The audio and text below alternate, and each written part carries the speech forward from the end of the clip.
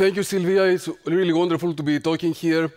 And today, actually, I'm not going to talk about cancer directly. Rather, I would like to talk about a very powerful data type that has emerged over the last couple of years, single-cell RNA sequencing, which I believe in the near future will be, uh, has the potential to actually make great breakthroughs in analyzing cancer tissues which exhibit uh, large amounts of heterogeneity, which this technology is uh, aimed to explore. So, over the past couple of years, a number of technologies, such as this one name, uh, uh, depicted here, Fluidigm, um, and also some technologies developed at Harvard, InDrop and DropSeq, and uh, at 10x Genomics, have managed to solve the technical challenge of isolate, isolating single cells in relatively high throughput and extracting and amplifying DNA or RNA material from the single cells. We have been, uh, and I'm sorry, I'm going to skip a few slides to be on time. Uh, we have been collaborating very closely with uh, 10x Genomics, which has developed a very high throughput, very exciting technique for um, microfluidically isolating single cells into water bubbles in oil, so basically aqueous uh, oil emulsion, and um, then basically amplifying unique molecular identifiers for each of the genes expressed in each of the single cells, barcoding individually in each compartment, and so you know which RNA has been expressed in which cells. Some characteristics of this technology are that it is quite high throughput compared to other ones, but it is also more sparse. So basically, you get a lot of noise in the form of dropouts, cells which may be expressing but are not actually measured. In general, when analyzing single cell RNA sequencing data, as it has emerged in the past couple of years, there is a very large amount of heterogeneity in, in the types of analysis. Heterogeneity comes, first of all, from the biological questions that are being asked. We may, be, we may care to find heterogeneity across within a given cell type or across cell types or to distinguish between healthy and disease cells, such as healthy cells and tumor of the same cell type. Cells can be in different uh, stages of the cell cycle. And then each of the technologies, as it turns out, introduces different types of noise in the data.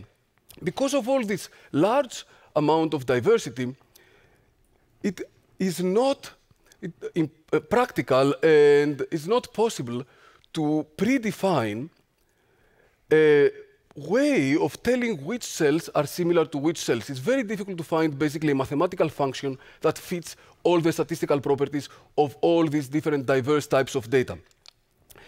And telling which cells are similar to which other cells is, is of course, the key to doing further analysis, such as clustering the cells into different cell types, or uh, figuring out whether certain cells are aberrant, or following cells across time points.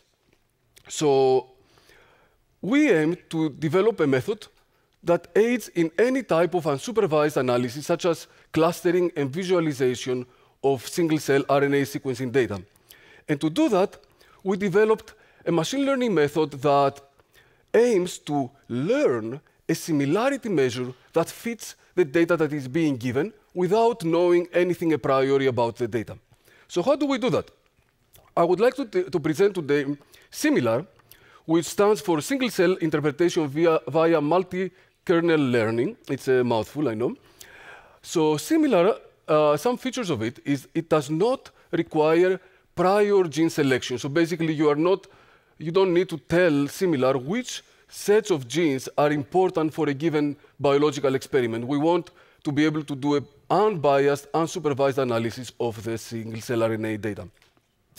We learn a cell-cell similarity measure, so we don't um, rely on Euclidean distance or Pearson correlation or anything like that across the cells. And we want to be high throughput and accommodate a very large amount of noise as is necessary for this type of analysis. Okay, let me try in the next few minutes to describe the main ideas about SIMLR.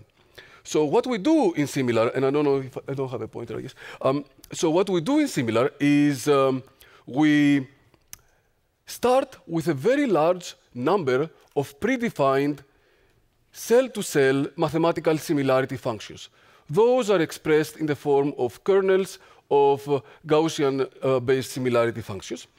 And what we assume is that the matrix that we are being given of uh, cells across genes, that it exhibits some kind of underlying clusterability.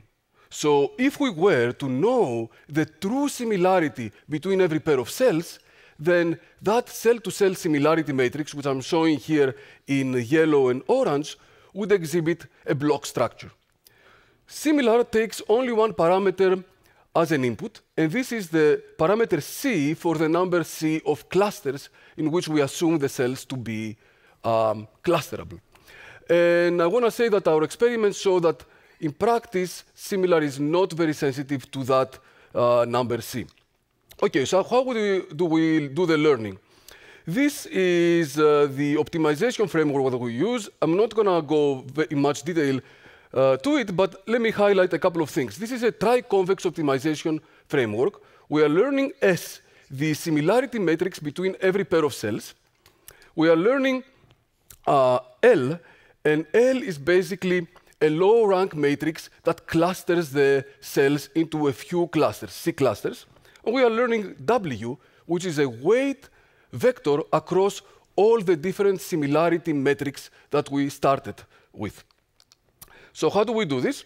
We assume that uh, we want to find the similarity matrix that makes the cells as clusterable as possible. This is like regularization terms, and this is basically where the clustering happens. So this is the normalized Laplacian, and we basically want to put the cells into C different components. Okay, uh, let me go a little quickly. We, uh, in practice, this uh, framework works very fast and very uh, and can analyze up to thousands of cells. So basically, a matrix of thousands of cells up uh, across 20,000 genes uh, or so. And to find out how well it does, we first started with a few recent publications over the past couple of years of different types of single-cell experiments for which ground truth had been established by the investigators who did the, the experiment. So we started with 11 cell populations of neural cells and blood cells. Um, th those were done with Fluidigm, with neuronal cells with sensorally subtypes, uh, done with a robotic uh, customized protocol, embryonic stem cells in different cell cycle stages, and pluripotent cells under different environmental conditions. Okay, one thing I want to point out is that our similarity framework, when it so I'm showing you results now, um, when it learns the similarity across different cell types, it doesn't fix a single similarity, uh, a single distance function. This is the uh, on the top uh, left, you see the loads of different distance functions. So basically, how much each one of these is weighted. On the top right, you see clustering if one of the distance functions was being used. And on the bottom right, you see clustering done by SIMLR. So you see that if we combine many distance functions and we learn automatically what is appropriate weight between them, we actually cluster the cells in a very nice block structure. But is it a true block structure? And that's what I want to get to next. Uh, another more picture here, what you saw, what you see, what I'm showing on top is the block structures revealed by our method SIMLR as compared to uh, if we had used instead the Euclidean distance or the Pearson correlation, correlation across cells. So we see that SIMLR distance function actually does something uh, that seems to be useful. Okay, so now let's go to the results. Compared to uh, ground truth that was known for each of those four different uh, experiments, we compared SIMLR in how well it does as compared to many standard previous methods, including some of which that were recently published for specifically for single cells. And as we see, both in terms of um, uh, in two different clustering measures, one of them measures how well our clustering correlates with the ground truth. The other one, how well the, um, each cell, its neighborhood in our clustering, how informative it is as to the true label of the cell. In both those measures, our method significantly outperforms each of the other previous methods. And we then go ahead and use SIMLR for visualization of the data. We do this by modifying a popular existing tool called t-SNE for um, T-stochastic neighbor embedding. So t-SNE tries to minimize, to find the Euclidean embedding of large-scale, uh, uh, of mm, large dimensional data by finding the 2D or 3D Euclidean embedding that best fits, uh, in terms of KL divergence, the high dimensional data. What we did is we took the distance measure uh, used by t-SNE and we replaced it by simply by SIMLR. So we used the existing t-SNE code. And uh, here are some results. Oops. Uh, um, why do we? Uh, okay. So it looks like there is a difference between Mac and uh, whatever computers are being used in this conference. So what you see, what you are, what I want you to imagine here is that at the very top, there is, a, and I wouldn't be able to, I wouldn't have known that this would have happened. So in my laptop, at the very top, you see very beautiful separable clusters by SIMLR as compared to in each of those methods as compared to other methods that look much, much worse, okay? So, um, fantastic, all right. So let's see if some of the figures will work. We did some work also on uh, recent data by 10x. These are very high uh, throughput data from um, uh, blood um, performed by the Chromium system from 10x Genomics, and they were very kind to share the data with us. So we, ah, this shows, okay, great. So we clustered the data using SIMLR, and we were able to uncover very cleanly different types of uh, cells, T cells CD4, T cells CD8, B cells, monocytes, and progenitor cells that to the right here are uh, colored in different colors according to our clustering. And this is basically what you see, this is the 2D t-SNE plot of the data. Then we went further and took each of those clusters and further uh, applied uh, recursively SIMLR to them to the cluster, and then we found further clear heterogeneity that we are currently analyzing. I'm not going to have much time to go through the details of our findings, but um, it is basically, uh, we are very hopeful that SIMLR is able to work in this very sparse, very high throughput data that are typical of uh, the 10x technology. So without further ado, I think I'm running out of time.